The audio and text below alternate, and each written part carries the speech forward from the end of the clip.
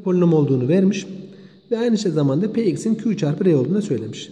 Verilen ifadede pd2 ve pd3'ün eşittir 0 olduğundan dolayı demek ki 2 ve eksi 3 bizim polinomumuzun kökleriymiş. Ama dördüncü dereceden olduğu için denklemimizin hala yeni çarpanlara ihtiyacı var. E, px polinomumuzun da qx çarpı rx olduğunu söylemiş.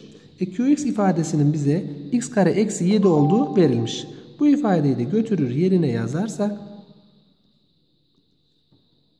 x kare eksi 7 olduğunu yerine yazarsak e demek ki bizim rx diye verdiğimiz çarpanlar şu arkadaşlardan ibaret olacak. Soru işaretlediğimiz ifadede qx'in ta kendisidir zaten.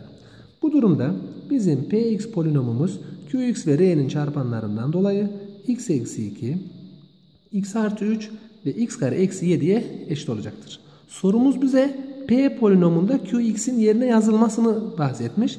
Biz de q'yu götürüp bütün x değerlerinde yerine yazacak olursak burası x kare eksi 9 x kare eksi 4 buradaki ifadede x kare eksi 7'nin karesi eksi 7 gelecektir.